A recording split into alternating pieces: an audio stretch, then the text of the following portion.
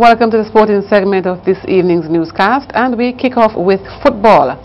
Layou beat North Windward 3-0 on Sunday at Victoria Park to clinch the senior men's title of the St. Vincent and the Grenadines Football Federation's championships.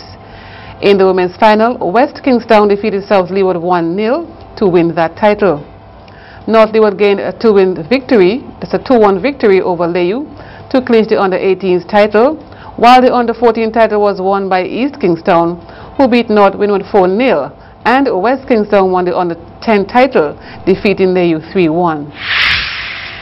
Meanwhile, Bible FC defeated Pride and Joy 5-4 on penalties after a 1-1 draw at the end of regulation time yesterday afternoon in the Highway National Lotteries Northeast Football League at the Chili Plain Field in Georgetown. At 4.15 this afternoon, Ballers United will meet Linkers FC in the knockout quarter-final also the Chili Plain Field in Georgetown.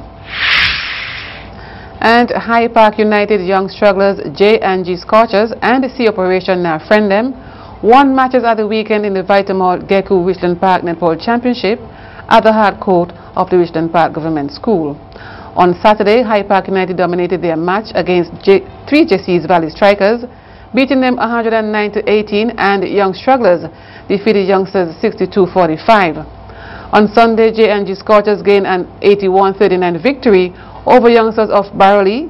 Sea Operation Now Friend Them outplayed VC Sports Youth 58, that's 56-8, and Hyde Park United leading Young Strugglers 38-20 at halftime when Young Strugglers refused to continue thereby forfeiting the game. On Monday, 16th January, national footballer and USL Seattle FC 2 striker Myron Left Eye Samuel handed over EC $500 to his former primary school, the Layou Government School.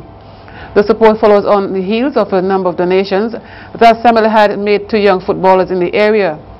He made the donation to the Layou Government School because he said, quote, it is the institution where I started my football and educational development, and the teachers are hard-working teachers who care about the youth's education and athletic ability. Don't go anywhere, the regional news is up next.